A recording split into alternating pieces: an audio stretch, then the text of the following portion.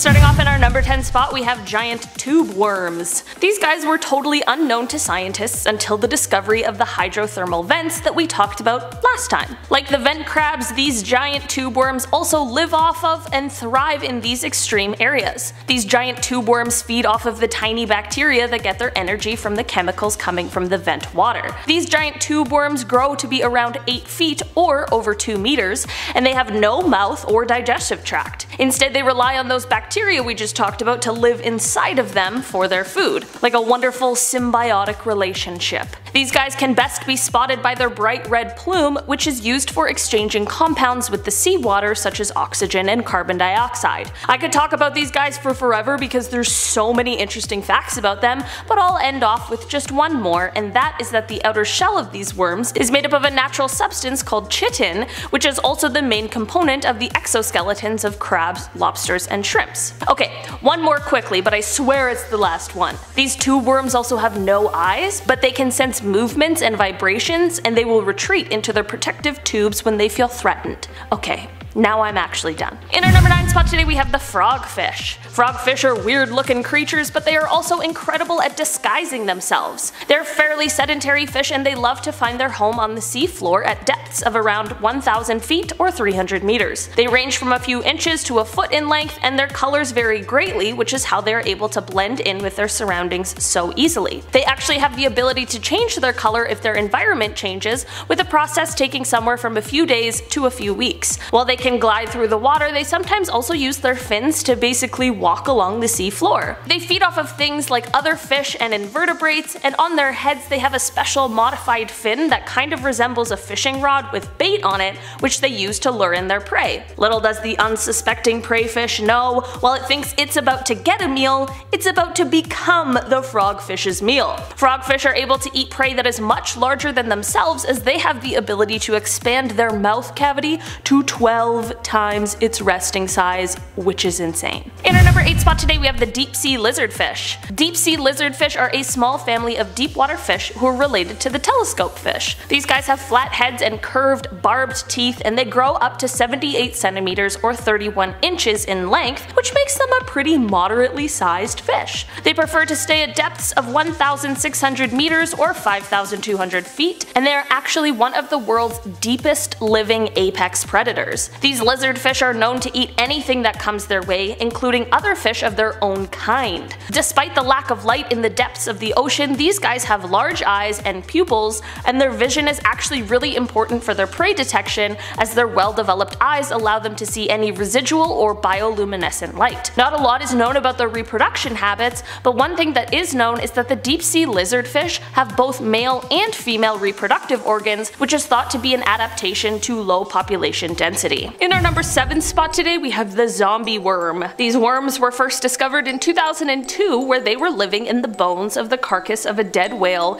nearly 10,000 feet or 3,000 meters deep in the ocean. The reason these guys have the common name zombie worm is because of the fact that their main food source is those same bones that they were first found living in. These guys love to eat bones, but in their own special way because of the fact that they don't have mouths or stomachs. Instead, they secrete an acid from their skin that dissolves the bones, which frees up the fat and proteins that are trapped inside. The worms then have their symbiotic bacteria that lives inside of them digest the fat and the protein. Here's the thing though, we actually don't know how the nutrients from the bacteria get to the worm. They either digest the bacteria somehow, or there is some sort of process where the nutrients get transferred. While when they were first found, they were chowing down on whale bones, zombie worms are happy to eat any kind of bones that they can come across, and they've actually been observed making a meal out of non-aquatic animal bones that somehow ended up in the deep sea. In our number 6 spot today, we have the barrel eye. This guy is one weird looking fish, man. The barrel eye fish is also known as the spook fish, and they of course get their names due to their appearance. These fish are relatively small and they are best known for their extremely unusual,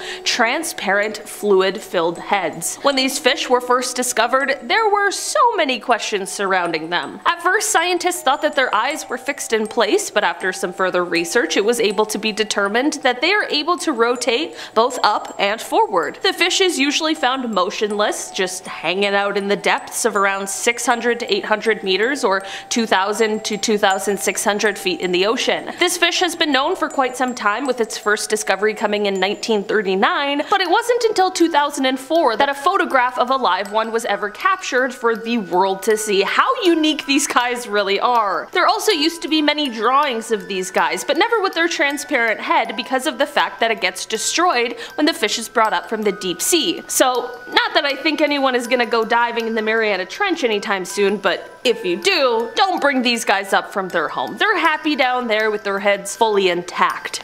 In our number 5 spot today we have the ghost fish. This little ghost fish was caught on camera in 2016 as it was casually swimming along a ridge around 8,202 feet or 2,500 meters deep in the ocean. The fish is around 10 centimeters long and has translucent, scaleless skin and the creepiest, colorless eyes on any fish I've ever seen. Here's the craziest thing about this whole ordeal though. This was the first time a live fish from its family has ever been seen before. This little fish swimming along minding his own business has absolutely no idea that he was a huge discovery for the human scientists on land. There is still so much that is left a mystery about these guys, but any kind of new discovery is most definitely always a step in the right direction. In our number 4 spot today we have the aluminum plated amphipods. These guys are found not only in the Mariana Trench but also in the Challenger Deep which is the deepest part of the trench. Amphipods usually have shells made out of calcium carbonate but the extreme environment in these guys' habitats make their shells basically just dissolve. They of course can't just be walking around naked and shellless so what do they do? They adapt in order to preserve their shells. After collecting some of these guys from the deepest parts of the ocean, scientists were able to realize that their exoskeleton contained aluminum on the surface, which then led to the question, how did these guys find metal since it is pretty sparse in seawater? Well, as it turns out, these guys use sugar-based chemicals in their bellies to extract aluminum ions from the mud on the seafloor that it ends up ingesting while devouring the plant debris that floats down from the surface. In alkaline seawater, these aluminum ions form what is called aluminum hydroxide gel, which is a compound that we as humans use for like protecting our upset stomach from stomach acid. This gel then coats their shells and acts as a type of of chemical protection so as to keep the calcium carbonate exoskeleton from dissolving. I don't know guys, I just think that's one of the coolest things that I've ever heard a shrimp do. This is the first known amphipod to do something like this and these guys are now an important part of researching how maybe one day we can find an environmentally friendly way to produce aluminum. In our number 3 spot today we have basket stars. Basket stars are like the Mariana Trench cousin of the starfish and when you see them you can totally understand why. These guys have this same main kind of disc that you see on a starfish, but rather than five stiff arms, these guys have five long, slender, flexible arms that all branch out from themselves repeatedly to form even more little tiny arms, with the last branch usually ending up curled. There is no real rhyme or reason for the shapes of basket stars as it just depends on how they grow. So while some look beautiful and almost like a webbing of lace, there are some that look absolutely chaotic. You know what they say, no two basket stars are the same. I don't think anyone has ever said that, but we're gonna start. Basket stars are able to navigate around the seafloor by wiggling their arms around, and they also have the ability to curl into a ball when they're feeling threatened by predators. They also do eat as they have a mouth located on the underside of their disc, and they prefer to eat things like krill, small crustaceans, and zooplankton. In our number 2 spot today we have giant tube worms. These guys were totally unknown to scientists until the discovery of the hydrothermal vents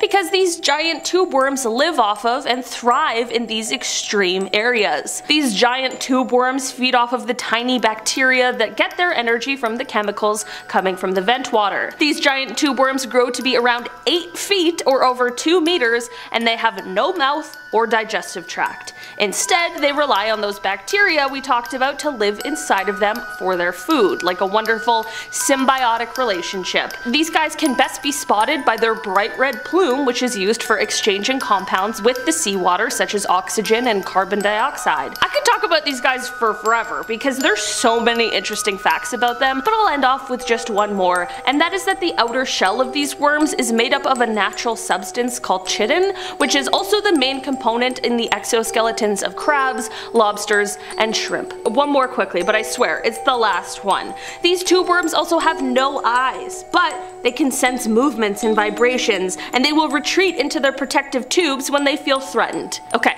Now I'm actually done. In our number one spot today we have the predatory tunicate, one of my favorite creatures to ever exist. They're so weird. These guys are basically like the Venus flytraps of the deep sea. These invertebrates make their home anchored along the deep sea canyon walls and seafloor as they wait for their meals to drift on by. Like the flytrap, when they catch a piece of their prey, their mouths will snap shut until they are finished digesting their meal. These guys start off life looking kind of like tadpoles and they swim around until they find a place to land, which they do upside down by secreting an adhesive to keep them in place. From here they undergo a metamorphosis and have an incredibly large change. Despite having having to worry about its predators, these guys are also very picky about where they live. They need to make sure the chemicals in the water as well as the temperature of the water are just right, and it's also imperative that they stay in place once they find their spot. If they're removed from the canyon wall, they unfortunately will die. The predatory tunicate may seem a little weird, but one cool thing is that they have been found to be useful in the medical world, and they may even have the potential to help with conditions such as melanoma and leukemia, which is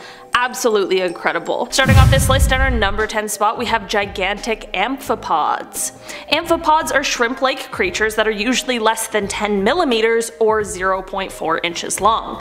That all changed when these deep-sea dwelling amphipods were located, however, with their massive selves measuring around 28 centimeters long or 11 inches, with the largest one ever found coming in at an insane 33 centimeters or 13 inches long. Like imagine a shrimp the size of your forearm. These guys are basically the largest amphipods ever recorded, and they've only been found at some of the greatest depths of our oceans. The first specimens of this species were collected at the end of the 19th century, and they are usually found in abyssal plains in both the Atlantic and the Pacific Ocean, but of course, considering what we are here talking about today, they are also found in the Mariana Trench. Other than their crazy size difference, these guys are a lot like other amphipods, so it's unclear exactly why they're so large. These guys are basically like the Shaq of the amphipod world. In our number 9 spot today we have the fan fin sea devil. These guys are a type of anglerfish which we talked about in part 1, but these guys truly need their own moment to shine. They have a bioluminescent lure which they use to both attract their prey as well as keep themselves from becoming the prey. These fish have little hairy spikes all over their body which are used as sensors to help the fish balance as well as helping the fish check the water surrounding it. Kind of like the whiskers on a cat, but much less adorable and cuddly. These guys, their hairy spikes and their sharp teeth are absolutely terrifying to look at, but the good news is that they're relatively quite small. The females of this species are 6 to 8 inches long, and the males are even smaller, usually only measuring about half an inch in length. In our number 8 spot today we have the lanternfish. These guys get their name from their bioluminescent abilities as they have tiny organs called photophores located on their head, underside, side and tail. Like many other bioluminescent sea creatures, they use their light to attract their prey, but it is also thought that the lanternfish might use their light to also signal other lanternfish during mating. Apparently lanternfish are the most common of all deep sea fish and they play an important role as the prey for other larger deep sea fish. One thing that these fish do which is unlike any other on this list is that while during the day they are in the deepest depths of the ocean, during the night they prefer to swim a little closer to the surface in order to feed. It is thought that they do this to follow the path of plankton, which is their main food source.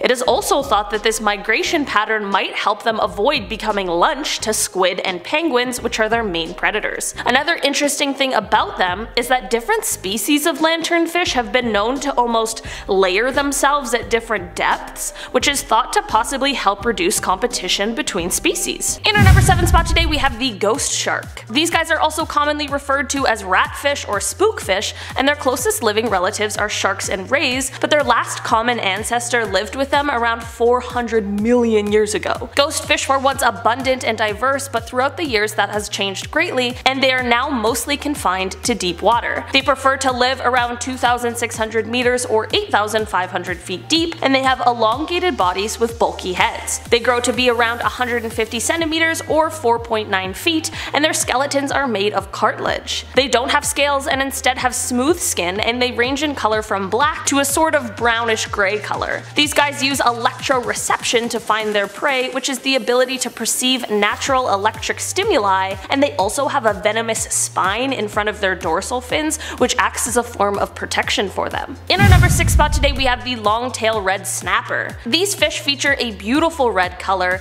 and they also have very large eyes, which help it make its home in the deep sea. These guys can grow to be 3 feet or 0.9 meters long and 30 pounds. They have a forked tail that grows larger as the fish matures, and sometimes the tips of the tails have a black or white color on the ends. It takes about 4 years for these guys to reach maturity, which is relatively long for the fish world. There are a few species of this kind of fish, and they can be found in many areas of our oceans, and they are considered a delicacy in some places and cultures. It probably isn't the Mariana Trench variety that people are eating however, as that would be quite a costly and difficult meal to achieve. In our number 5 spot today we have acorn worms. There are a few species of acorn worms, but one in particular finds its home in the deepest points of our seas. These acorn worms can grow up to 3 feet or just under a meter in length, and they often have brightly colored bodies. They have cilia on their underside which are used to glide over the ocean floor, albeit slowly as they travel at about 3 inches per hour.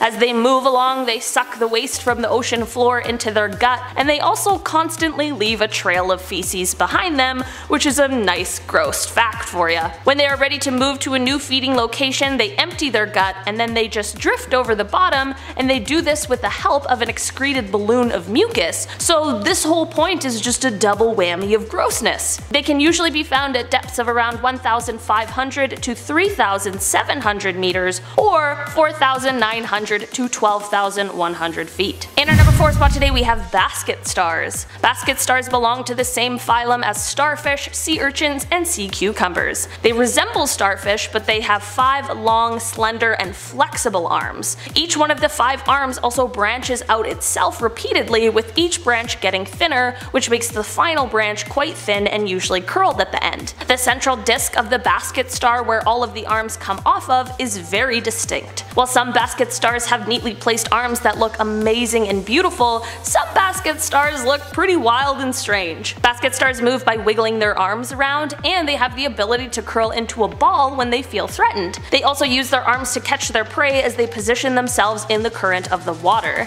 They feed on things like krill, small crustaceans, and zooplankton. Surprisingly, these guys do have a mouth which is located on the bottom side of their disc. In our number 3 spot today we have predatory tunicate. These guys are basically like the Venus flytraps of the deep sea. These invertebrates make their home anchored along the deep sea canyon walls and sea floor as they wait for their meals to drift on by. Like the flytrap when they catch a piece of prey their mouth will snap shut until they are finished digesting their meal. These guys start off life looking kind of like tadpoles and then they swim around until they find a place to land which they do upside down by secreting an adhesive to keep them in place. From here they undergo a metamorphosis and have an incredibly large change. Despite having to worry about its predators, these guys are also very picky about where they live. They need to make sure the chemicals in the water as well as the temperature of the water are just right, and it's also imperative that they stay in place once they find their spot. If they're removed from the canyon wall, they unfortunately will die. The predatory tunicate may seem a little weird, but one cool thing is that they have been found to be useful in the medical world,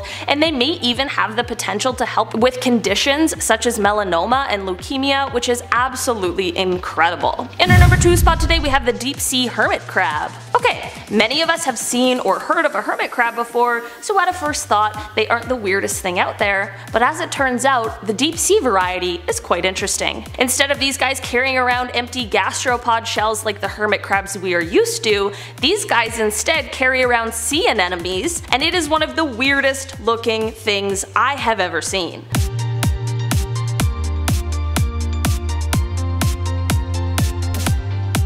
Looks like these crabs are missing a pair of legs, but instead the legs have actually been adapted to hold the anemone in place. I don't know about you guys, but I really think this one looks like some sort of disgusting sea spider that I hope just stays at the deepest depths of the Mariana Trench. No offense to the crab, it's just not my cup of tea. In the number one spot today we have the Daikoku Seamount. This seamount is located in the Mariana Arc about 325 meters or 1060 feet below sea level and it was found to be hydrothermally active in 2003. In 2014, it was discovered that the submarine volcano was either actively erupting or had been very recently. Along with these discoveries came the realization that this seamount also features a pool of liquid sulfur that was covered in some sort of black coating. This little sulfur cauldron is approximately 4.5 by 3 meters large and is 420 meters deep. There are rising gases like carbon dioxide and hydrogen that are coming out of the pool and they are moving that black crust that sits on top. The rising gases appear like smoke but underwater which is super cool. The really cool thing about this little sulfur lake is that it is almost an anomaly on Earth and one of the few other sulfur lakes that are known is actually located on Jupiter's moon Io. While there have been a few other liquid sulfur lakes found on Earth, the one located near this seamount is the most impressive one we have ever found on our planet. Starting off this list in our number 10 spot we have spoonworms. Spoonworms are a strange looking little creature that can be found in many areas of the ocean, and of course even in the Mariana Trench. These guys are basically just plump unsegmented worms that find their homes in the burrows on the seabed. Different members of this animal family can live at different temperatures, but most of the deep sea variety live deeper than 3000 meters where the water is icy cold. The deep sea spoonworms often see the females growing much larger than the males, and in most instances, the males end up living inside or at least on the females. I'm not entirely sure of the logistics of that, but it does sound awful. In these species, their stomachs are much longer than their bodies, so their gut ends up folded and coiled inside of them, which I guess isn't unsimilar to human intestines. In our number 9 spot today we have volcanic glass. Did you know that there are volcanoes underwater, even in the deep sea? Right near the Mariana Trench in 2015, scientists found evidence of what was the deepest ever known volcanic eruption. They didn't catch the actual eruption, but they knew it had happened because of the volcanic glass they found 3 miles or 4,800 meters below the sea. This discovery was huge because it is not often that we find deep sea volcanic eruptions, but it was the first time scientists had found one that had erupted very recently. The volcanic glass is created because of the hot magma coming into contact with the icy cold waters, which cools it down quickly. This discovery helped scientists understand what happens when an eruption occurs underwater, such as how some quick moving creatures find their home in the aftermath almost immediately. It is said that around 80% of the world's volcanic eruptions occur under the water, and it's still something we know so little about, so this discovery gave us an incredibly important look at what happens afterwards. In our number 8 spot today we have the sea cucumber. Sea cucumbers are creatures that can be found all over the oceans on our earth, even in the most extreme environments, such as the Mariana Trench. These guys have many different appearances but they all look somewhat like a giant worm or some kind of spiky, slimy cucumber. They're often called the vacuum cleaners of the ocean as they mainly feed on tiny particles of algae or microscopic marine animals and they play a vital role in recycling marine nutrients. They have a bunch of little tentacles that they use to eat and they can often be found on or close to the seafloor. There are a few species of sea cucumbers that can swim, but not all of them do. In some species, their tentacles are even able to secrete a mucus net that can be used to trap small planktonic organisms. One really crazy thing about some kinds of sea cucumbers is that they can expel their internal organs when threatened. This would seem like a huge problem, but sea cucumbers can regenerate their organs quite quickly after. They also don't have a brain, which I felt like was important to include. I guess maybe if we take our brains out, then can we regenerate our own organs? Uh, I'm just joking, obviously. In our number 7 spot today we have Foraminifera. These guys are giant single-celled organisms that are kind of like oversized amoebas, and they can be found in the sediment on seabeds throughout the world. In 1995, however, when Japanese researchers were able to collect samples of sediment located in the Mariana Trench, they found 432 living ones. I know I made these guys sound really large before, but I just mean large in terms of the single-celled organism world. They're still super tiny, and they're usually found with a hard outer shell, but not the ones found in the trench. These guys have basically found a way to adapt by building their own shells from proteins, organic polymers, and even sand. The ones most commonly found in the Mariana Trench are called xenophyophores, and these guys use the fact that grains of sand are mostly made out of silicon dioxide, which is the main constituent of glass, to their advantage.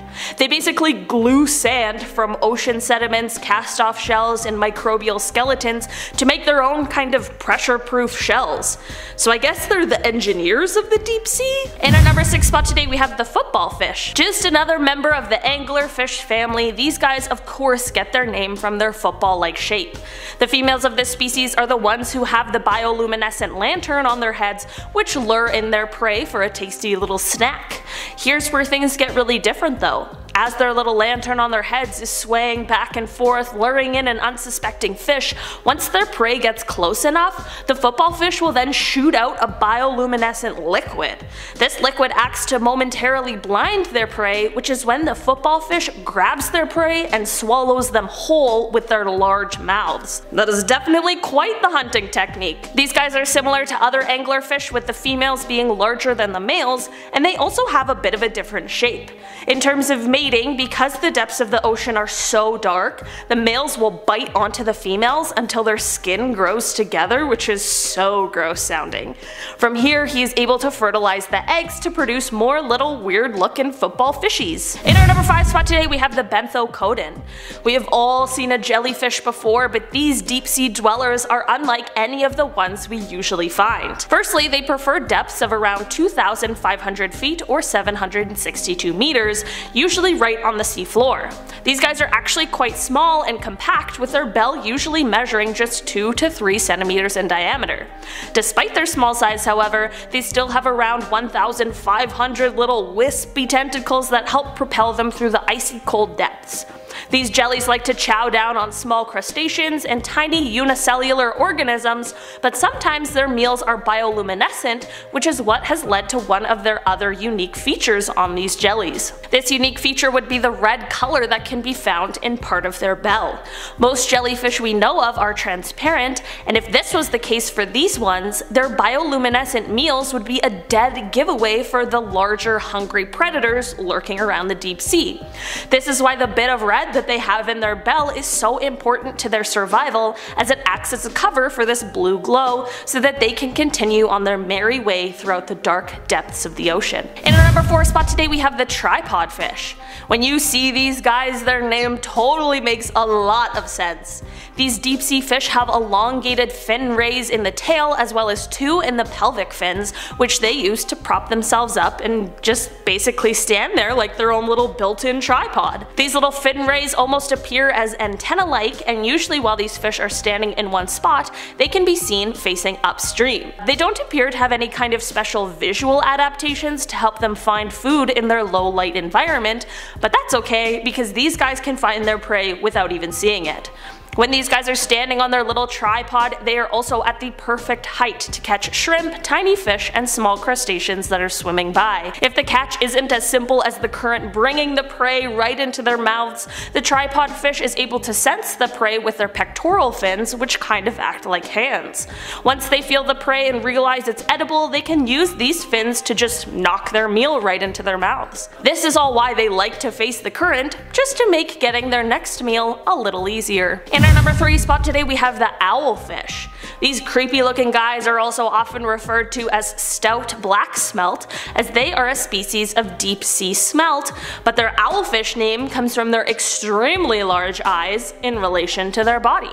These eyes are able to capture even the faintest glimmer of light, which isn't the most common occurrence in the deep dark depths of the Mariana Trench, but this is what helps them spot and capture their prey, which are usually small crustaceans and jellies. There truly isn't a ton of interesting information I can find out about these guys other than their huge eyes, but I did find this cool video of one fighting with a black-eyed squid, so here's a little clip of that.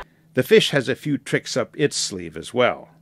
Owlfish have a very quick escape response, and with a flick of their tails, they can dart out of reach of a striking squid. In our number two spot today, we have the telescope octopus. There has been a kind of octopus on every part of this list, so we have got to keep the tradition alive and talk about the weird but interesting telescope octopus. These guys got their name for their unique protruding eyes, which haven't been seen in any other kind of octopus ever before. The difference in their eyes allows them to have better peripheral vision so as to see both their prey and their predators better. Their eyes also rotate, which I'm sure is super helpful to them, but just seems like something I wish I didn't know. These guys don't really hang out on the ocean floor like many other octopuses do, and instead they prefer to just float or dangle in the deepest currents of the ocean. Most octopuses also tend to swim horizontally, but not this guy. He likes to stay vertical, and it's unclear why, but it could perhaps be to make it harder for predators to see its shape.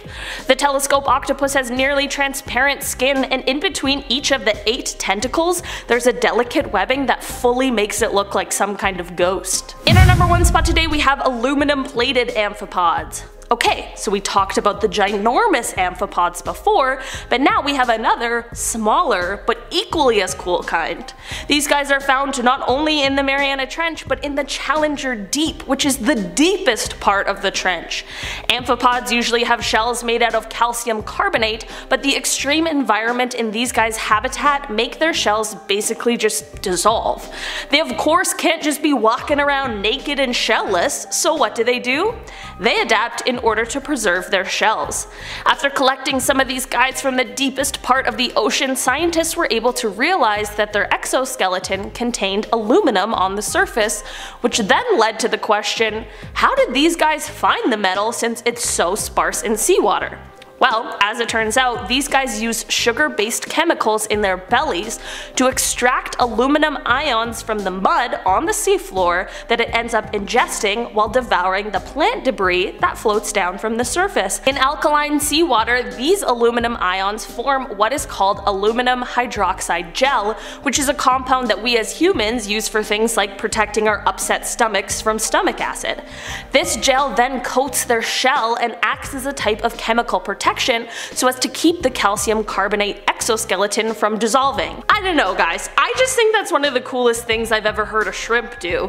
This is the first known amphipod to do something like this and these guys are now an important part of researching how maybe one day we can find an environmentally friendly way to produce aluminum. Starting off this list in our number 10 spot we have a plastic bag. It is unfortunately no surprise that on one of the deepest dives we as humans have ever been able to accomplish, along with all of the amazing new creatures and never been explored places, there would be none other than a plastic bag. In 2019, Victor Vescovo took a dive into the Challenger Deep, which is the deepest part of the Mariana Trench, which is an unbelievable feat and not an easy task, and he was rewarded by being reminded of human trash. Despite that little finding, Victor broke the record for deepest dive, which is of course amazing for scientific advancements and research. Every time someone manages to do these things that once seemed impossible, we get closer to revealing more of our ocean's mysteries that lay at the deepest points on Earth, which is very, very cool. While it would be amazing if the dives weren't plagued with plastic pollution, at least they were able to also discover a bunch of new crustaceans and give us all a little look into what life looks like in the Mariana Trench. At number 9 we have the Dumbo Octopus. It's an octopus whose favorite Disney movie is Dumbo. just kidding, that would just be weird. Almost as weird as the real Dumbo Octopus. Although that is how it got its name, because it looks like Dumbo. Anyway, 9,800 meters below the surface and found deep in the Marianas Trench, you can find these dopey, kinda cute looking creatures. These creatures go from 8 to 12 inches and swim using their ears. Seems cute and friendly enough, right?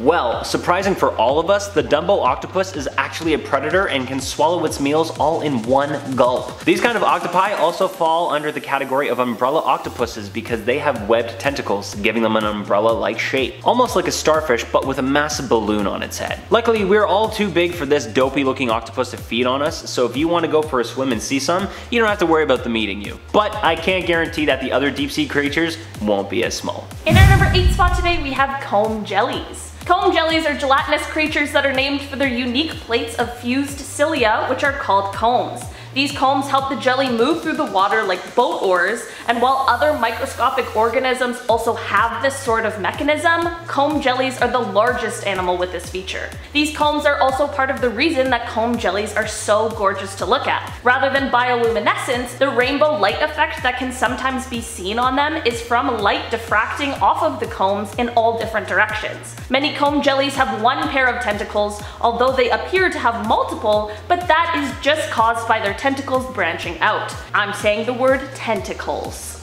These tentacles are used to help them hunt like a sort of fishing line. Aside from this, these jellies don't sting, which is always a good thing. Not that I'm planning on heading into the deep sea anytime soon. In terms of today's list, I'd say these guys are one of the less creepy creatures we've got going on today.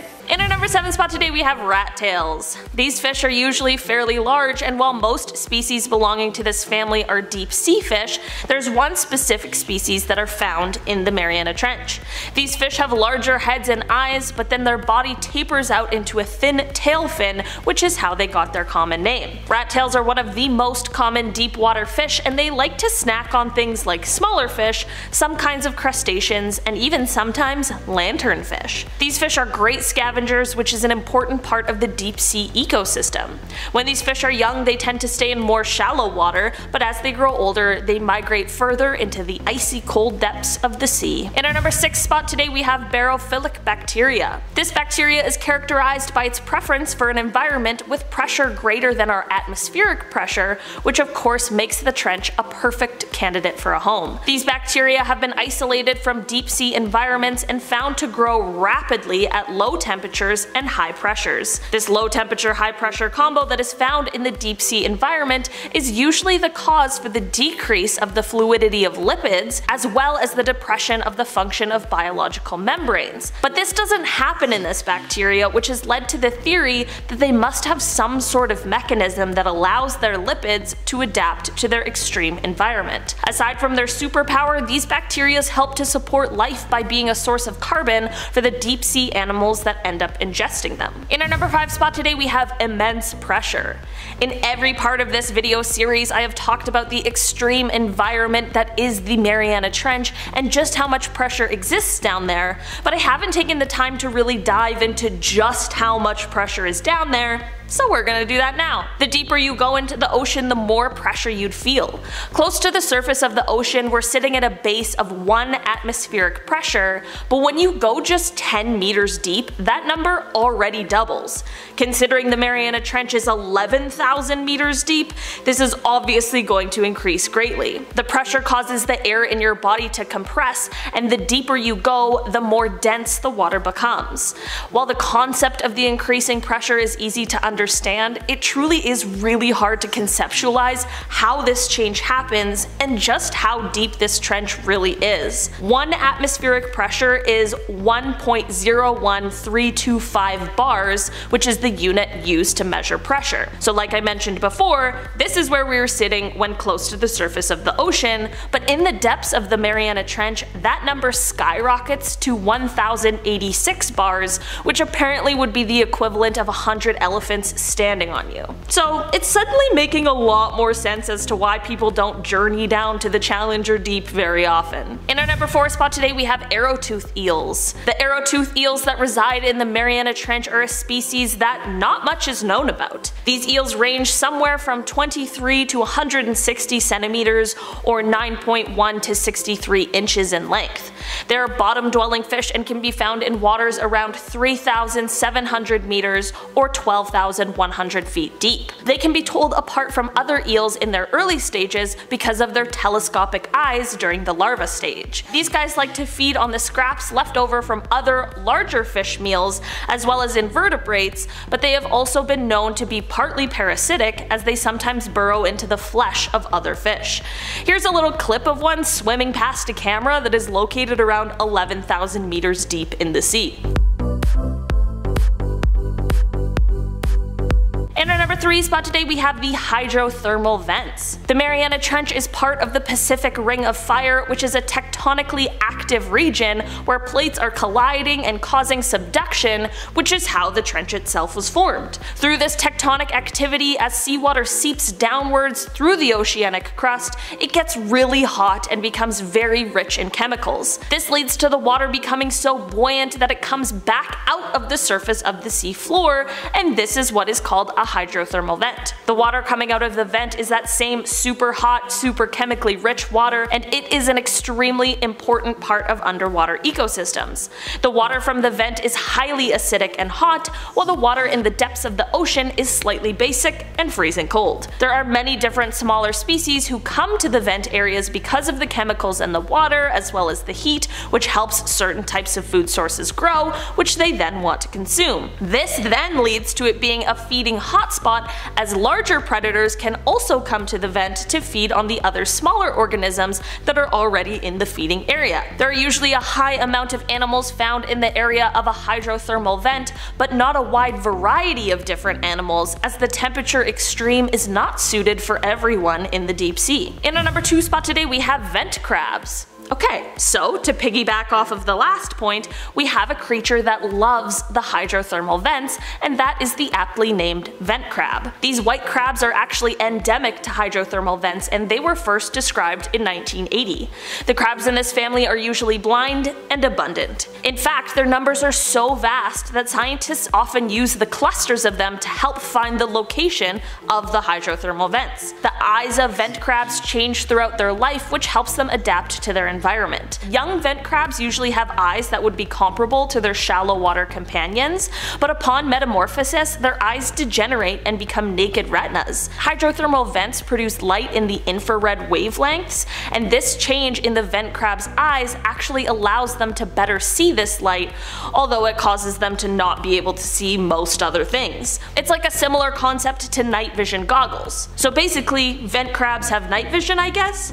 It is so interesting to see and learn about how these deep sea creatures adapt to their individual environments and circumstances. Vent crabs often eat tiny organisms and bacteria, which is another reason they thrive near the vents. In our number one spot today we have giant isopods. Before I dive into this number one point, make sure you hit that thumbs up button if you're enjoying the video so far, it really helps us out. Despite their appearance, these guys are neither aliens or pill bugs and are just another one of those strange and weirdly large deep sea creatures. These rather large crustaceans can reach lengths of around 15 inches, and while that's not the biggest deep sea creature out there, that's still pretty insane for the isopod world. These guys get their size from what is known as deep sea gigantism, which is an evolutionary tendency for deep sea creatures to grow larger than their shallow water counterparts. It isn't exactly clear why this happens, but it does, and is seen in a few different species, such as those giant shrimps we were talking about last time. It is thought that it may be due to the cold temperatures which may increase cell size and lifespan which both may lead to increased body size. Giant isopods are related to woodlice, albeit distant cousins,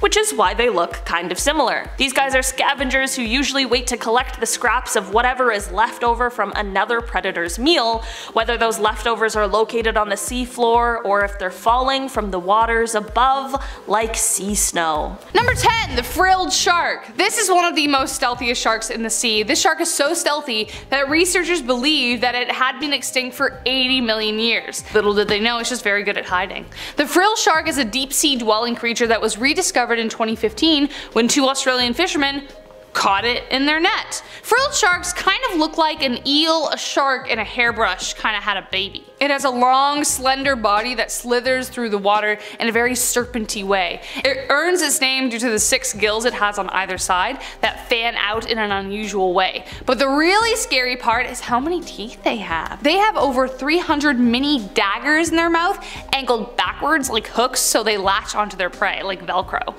It is one of the few creatures on earth to be considered a living fossil because it happens to be the only one of its kind. It has no other relatives which if you're someone who doesn't like their in-laws, not really a bad thing. I guess. Number 9. Massive amphipods. If you love jumbo shrimp then oh boy this would be a treat. Massive amphipods have been found in the trench. They kind of look like massive shrimp which is a direct result of a phenomenon called giantism.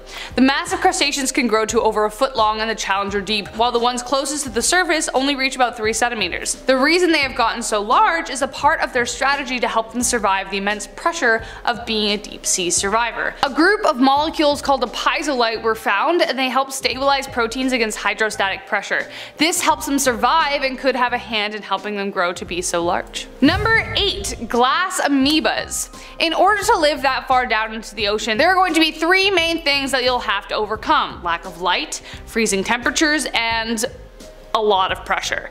Therefore, intense survival skills are required. Scientists were shocked to find Foraminifera, a kind of amoeba surviving down in Marianas Trench, but with some alterations. This kind of organism is found all over the world but usually they build hard shells for themselves out of calcium carbonate. Down in the trench, the intense pressures dissolve these minerals leading them to instead build a kind of glass house. They have adapted to use proteins, organic polymers, and even sand which is made from silicon dioxide dioxide, which forms a kind of pressure-proof glass shell. A specific kind of foraminifera called xenophyophores have taken this one step further and glue sand, casts of shells and microbial skeletons to their feces, which essentially makes a pressure-proof shell to live in. Gotta do what you gotta poo, I mean do.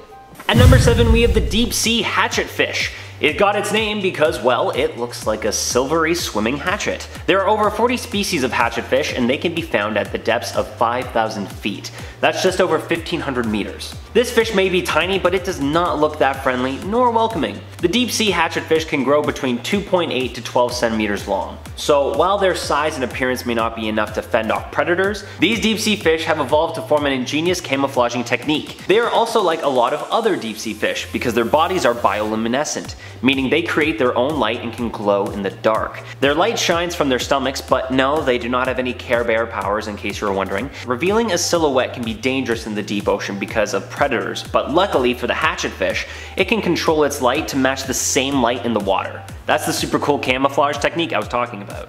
Man, that could be useful. In our number 6 spot today we have the anglerfish. If you've seen Finding Nemo, you might recognize these guys. This bony fish is known for its luminescent horn that is used to lure other fish as prey. There are different kinds of anglerfish, but those who live in the deep sea are referred to as sea devils, which truly does feel fitting. The females are much larger than the males and can reach up to almost 4 feet, while the males can reach up to 5.5 inches, but these little sea devils are able to eat prey up to the same size as itself. That's crazy. Luckily, most anglerfish remain so deep in the ocean that they are not a threat to humans, and even if they did live not quite so deep in the ocean, most humans would just be too big for them to even try to attack. That sure doesn't mean they aren't crazy to look at though. Just to add a little more about how strange these guys are though, these fish reproduce when the male fuses into the female and lives off of her resources until it can produce sperm.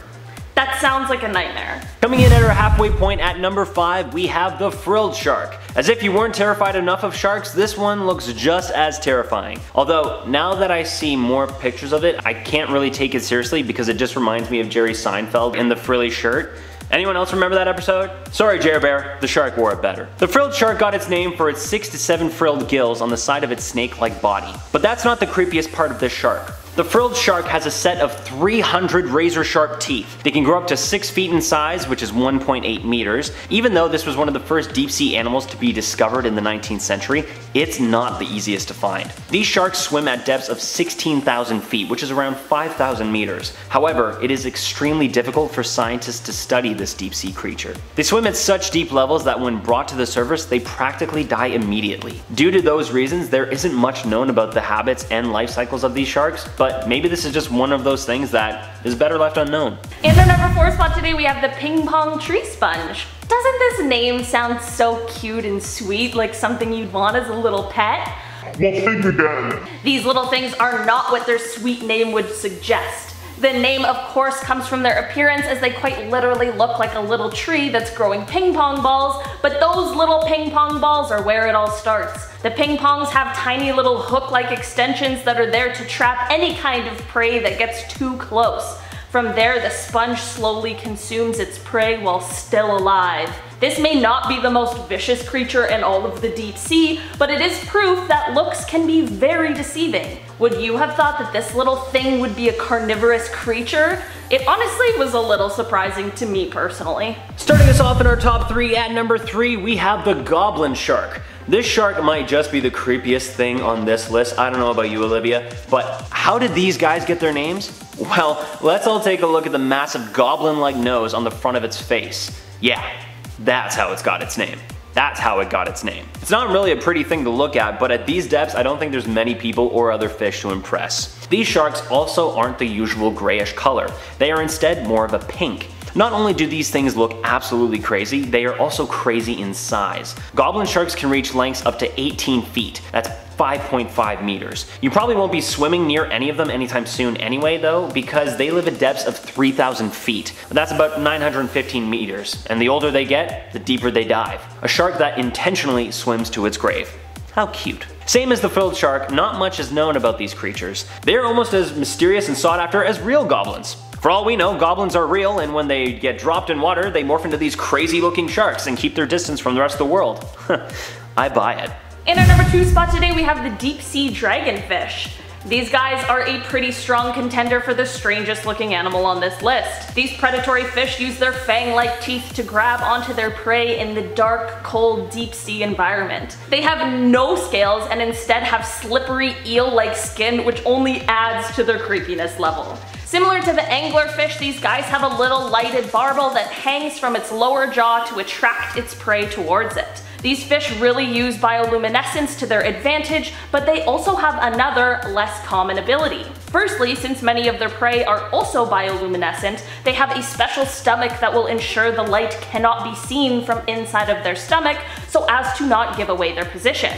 Secondly, they are able to produce a red glow. This glow is thought to perhaps be used to signal other dragonfish, but it is definitely used by them to illuminate and detect their prey. They are the only known fish that has the ability to both produce and see red light, as most fish can only see more of a blue light. So while these guys are definitely very creepy to look at, they're also pretty interesting and very talented. And finally, coming in at our number one spot and our weirdest thing found in the Marianas Trench is the zombie worm, aka the bone worm, also also known as the Osedax but I like zombie worm best. These worms live at the very bottom of the Marianas Trench and the very bottom of the ocean and feed off of bones of dead animals, such as whales. The zombie worm secretes acid to help access the inner contents of the dead bones, and it then uses symbiotic bacteria to convert the bone's proteins and fats into nutrients that it then uses as food. The feathery branches on the worm wiggle in the water and they pull in oxygen to keep itself alive.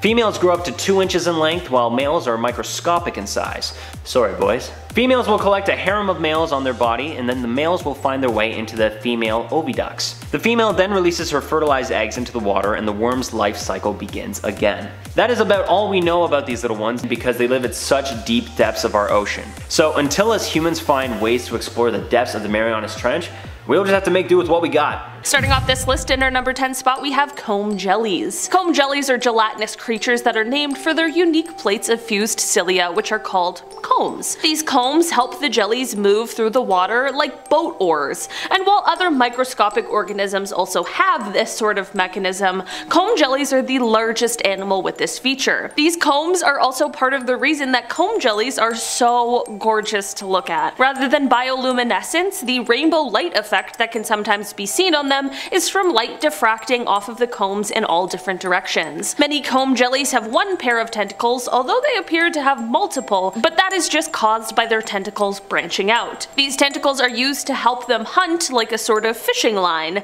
Aside from this, these jellies don't sting, which is always a good thing. Not that I'm planning on heading into the deep sea anytime soon. In terms of today's list, I'd say that these guys are one of the less creepy creatures we've got going on. In our number 9 spot today, we have the ping pong tree sponge. Sponge. Doesn't this name sound so cute and sweet, like something you'd want as like a little pet? Well, think again. These little things are not what their sweet name would suggest. The name, of course, comes from their appearance as they quite literally look like a little tree that's growing ping pong balls, but those little ping pong balls are where it all starts. The ping pongs have tiny little hook-like extensions that are there to trap any kind of prey that gets too close. From there, the sponge will slowly consume its prey, while still alive. This may not be the most vicious creature in all of the deep sea, but it is proof that looks can be very deceiving. Would you have thought that this little thing would be a carnivorous creature? It honestly was a little surprising to me, personally. In our number 8 spot today, we have the deep sea dragonfish. These guys are a pretty strong contender for strangest looking animal on this list. These predatory fish use their fang-like teeth to grab onto their prey in the dark, cold, deep sea environment. They have no scales and instead slippery eel-like skin which only adds to their creepiness level. Similar to the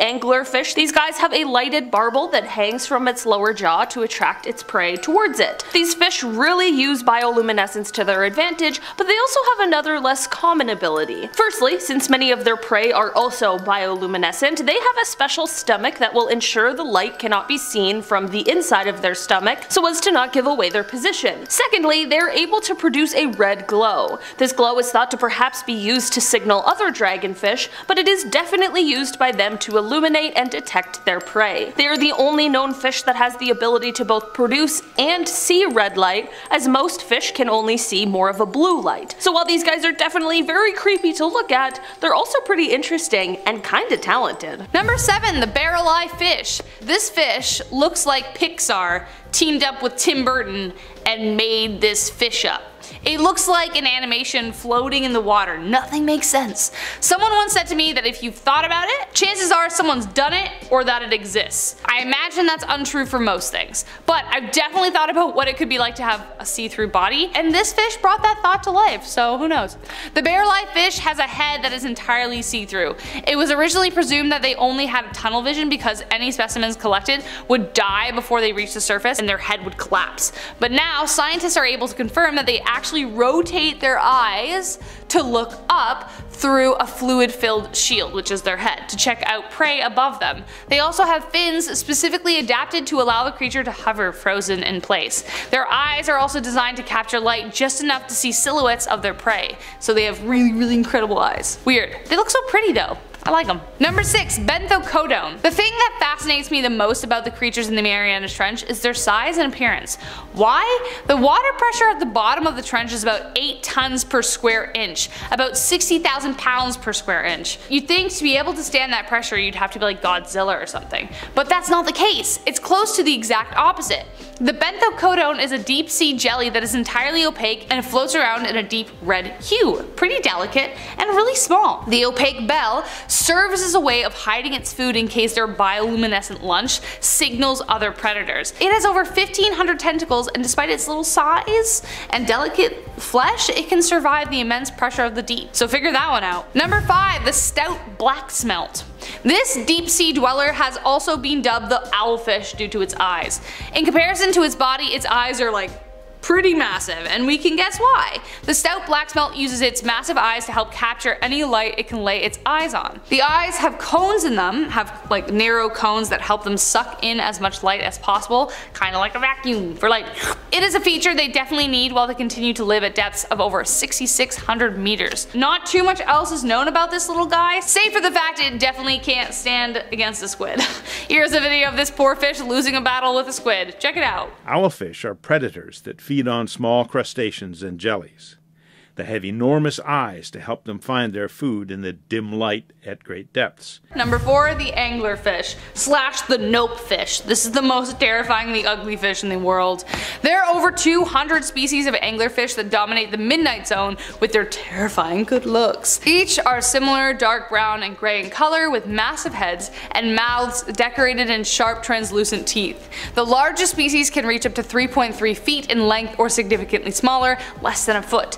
They are the horror movie villain of the deep with tricky bioluminescent lures. Thanks to these horrifying creatures, Finding Nemo almost had a grimmer ending. Despite their size, the mouth of the anglerfish is massive and like a python, can stretch wide enough to consume prey twice their size. Considering there's absolutely no light, it's cold and lonely, I guess it makes sense that they are a little angry. One can't afford to make friends out of fish when their next meal could be days away, so fish aren't friends, they are food. Number 3. Dumbo Octopus. Mm, I love it so much. Weird cute is the best combination, okay? Fight me. I'll just show you a picture of this. Meet the only cute thing to live in such a dark place, the Dumbo octopus. The Dumbo octopus, as you can guess, resembles Disney's adorable Dumbo elephant, as it has big fins that look like ears on either side of its head and just like whoop flims around. These fins help this floating boopity boop steer through currents. They try so hard. While they vary in color and size, they usually reach around 20 to 30 centimeters, so they're really small. While some have also been found to almost reach 6 feet, so that's like one you can hug. Sadly, you won't come across them in shallow water as these cute water babies are only found around 400 to 4800 meters below the surface. Since where they live is so dark, they don't need an ink sac to defend themselves, so they don't have one. But honestly, who would want to attack this little guy? Look at those eyes. Puss in Boots can take a seat. Number two, the tripod fish. Can we talk about how this fish looks like they are an alien standing on the moon? Kinda, sorta, yeah? Anyways, yes, that fish is literally standing on the sand. The tripod fish is yet another fish that has adapted in a strange way to live in the deepest, darkest depths of over 6,000 meters. Another tiny but mighty example, it can only grow to about 3 centimeters long, while its long, bony fins can extend to a meter, allowing it to stand. Researchers estimate that fluid is pumped into them which allows them to become rigid so they can actually prop themselves up. If you're wondering why they want to be taller, Ask yourself that question the next time you purchase a pair of heels. By standing tall, it's got the best vantage point to capture prey such as small crustaceans. As they float in the current, the tripod fish can just open their mouths and catch them like snowflakes. However, it is practically blind due to its habitat so its fins sense vibrations to anticipate predators, so otherwise it just kind of waits there for food. Number one, last but not least, the Mariana snailfish. Though it doesn't look like it could withstand pressures of a thousand feet below, the Mariana snailfish proves yet again the age-old phrase of never judge a book by its cover. Meet the deepest fish in the ocean which thrives at 8,000 feet below sea level. Though they look small, fragile, and slightly translucent, these little guys are actually the top predator at this depth. With few predators, they get the cream of the crop when it comes to food down there. They kind of look like white fat goldfish with a long narrow tail. Its flesh is so translucent you can even see its liver through the skin. Compared to some of the other creatures on this list, it definitely doesn't scream robust survivor, but has adapted in a new clever way scientists are still trying to understand.